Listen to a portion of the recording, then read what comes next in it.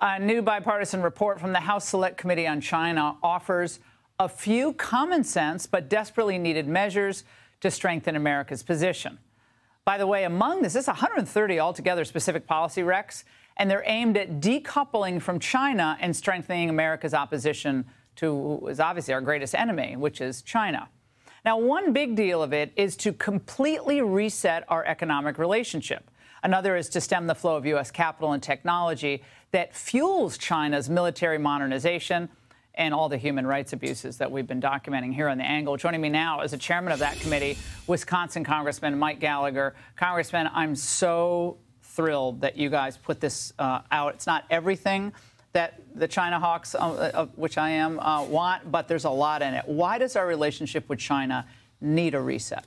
Because we have become dangerously dependent on a hostile foreign regime, on a genocidal communist regime that has threatened to weaponize our supply chain dependency. So imagine if we got into a conflict over Taiwan, if they cut off the export of advanced pharmaceutical ingredients and Americans couldn't get access to life saving drugs, the chaos that would cause. And I think you have to go back 25 years ago. We planted a lie into a bill that we passed. We, the lie was that China was going to be designated a market economy permanently. Permanently. The problem then and now is that China's economy is not a market economy. They subsidize their domestic industries. They dump products onto the global market in order to devastate American put them out of business.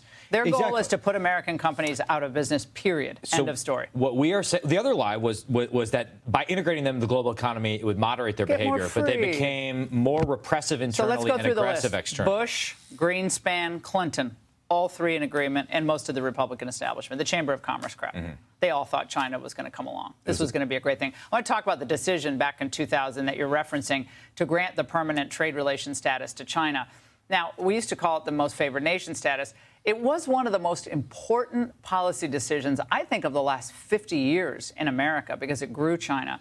And it was once considered untouchable.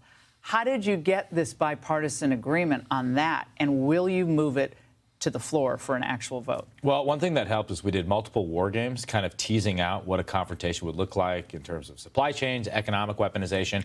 And I think the evidence has just become too big to ignore. I don't think anyone could say with a straight face that China is abiding by the commitments uh, they made uh, when they acceded to the WTO. We had great testimony from former U.S. Trade Representative Ambassador Lighthizer that was very persuasive. And so, what you have here, I think, for the first time in history, is a bipartisan report saying we need to move on from the PNTR paradigm and adopt a new economic relationship, reset the relationship with China, that we can actually defend ourselves from the CCP's economic aggression because the results have been devastating. We've seen deindustrialization in the Midwest, again, a growing dependency on a hostile regime, and debt, debt, and more debt. So we can either admire this problem and do nothing or take action. It's time to take action. And a ballooning trade deficit. Now, your committee is suggesting, again, this is all bipartisan, everyone has to realize this, that China should be given a separate test of what's called tariff codes that would make it harder for China to export into our country. Now, explain what the tariff codes are, and don't think we're too wonky, people. This is important.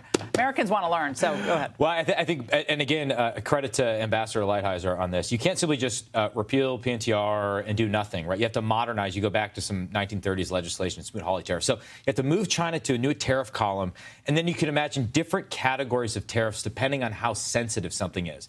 So potentially higher tariffs for things that are directly related to national security, like AI, quantum, hypersonics, things like that.